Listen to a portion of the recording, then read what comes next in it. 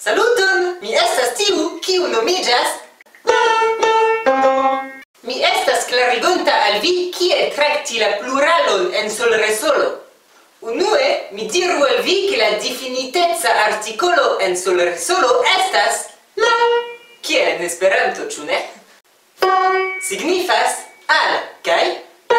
Signifas de ciui substantivoi, nur tiui tri morfemoi, cae la persona e pronomoi, povas esti pluraligitai.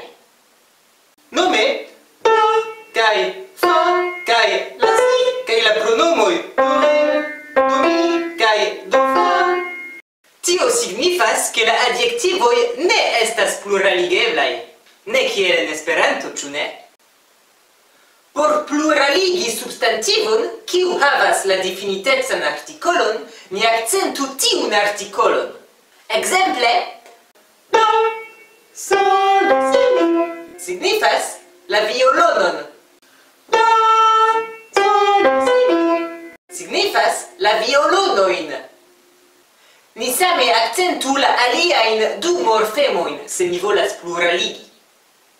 Exemple, sol, sol. Signifas al violono.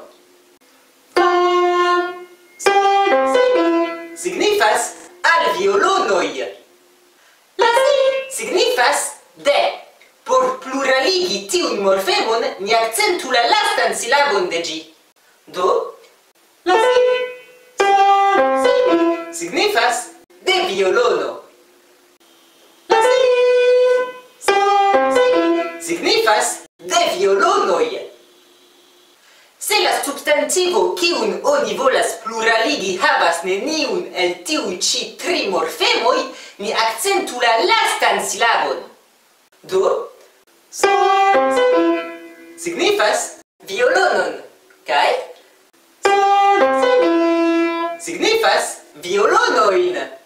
Ciam la substantivo havas cardinalan adjektivon, oni ne devas marki la substantivon per la pluralo.